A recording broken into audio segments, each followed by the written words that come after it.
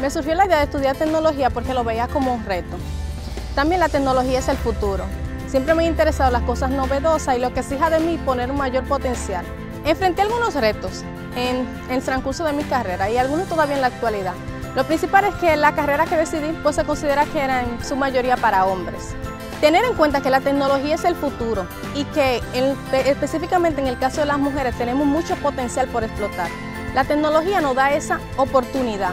También abre dentro de nosotros la posibilidad de tener más opciones laborales en un futuro, contribuyendo a que podamos mejorar incluso nuestro propio estilo de vida y luchar por los deberes o derechos que nos competen a nosotros.